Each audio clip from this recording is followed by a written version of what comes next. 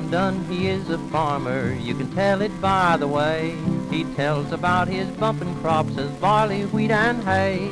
He'll sit and tell you stories till it seems he'll never tire. For Jim can raise some powerful crops when farming by the fire. He'll plant a thousand acres if you listen to his tale. Your head will get to buzzing from the number of the bale.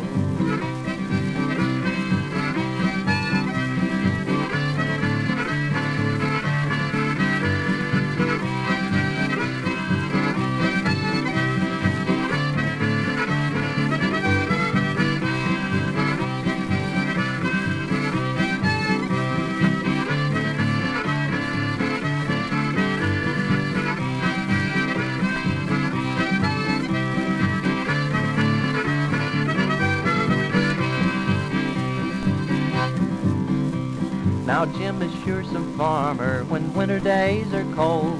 He tells about the very fine things that he has raised and sold. Cattle by the thousand and prize hogs for the drove. For Jim has made a million around some friendly stove.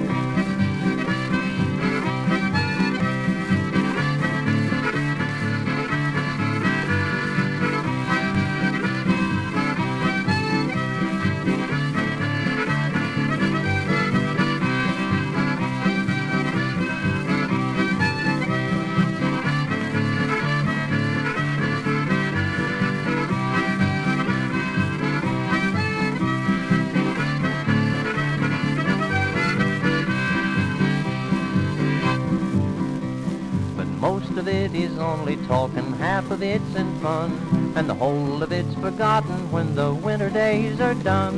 He brings no harm to anyone, it is his favorite desire. He gets a lot of pleasure out of farming by the fire.